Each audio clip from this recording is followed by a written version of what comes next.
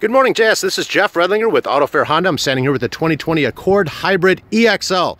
There are so many features on this thing and so many things to talk about, so I'm going to get started right away.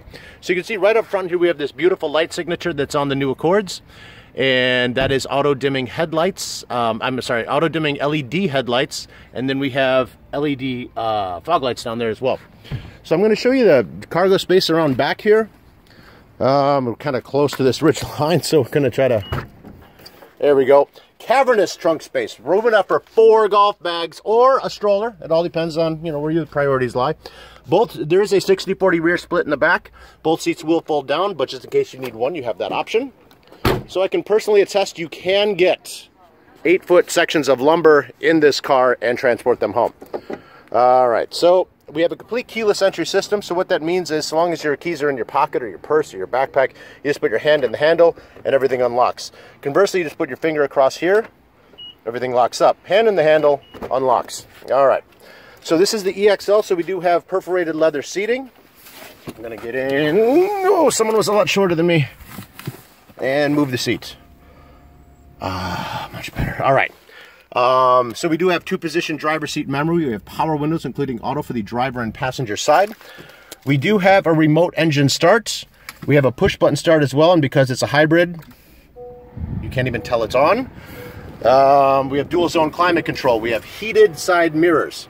We have heated seats right there. We have an 8 inch display audio that is Apple CarPlay, Android Auto, and Bluetooth compatible. Of course, there's no phone connected because it's a brand new car. Um, and there's also a power flow app so you can see exactly where the power is going. Now speaking of the power, so there are three different settings. Um, so it's a hybrid engine, but both engines work at the same time.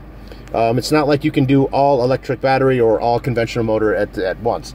They both work in congress with each other. So the economy mode is basically a kind of a split between the two of them. The sport mode, you're going to rely a little bit more on your conventional motor, and the EV, you're going to rely a little bit more on your electric motor.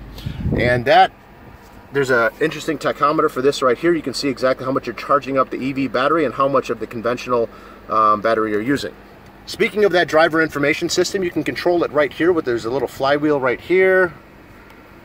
So you have a bunch of different options you can scroll through.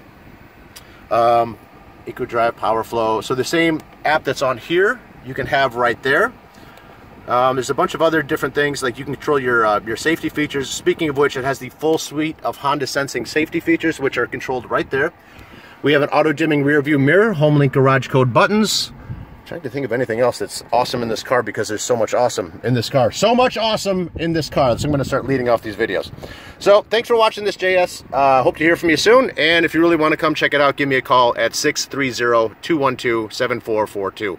So much awesome in this car.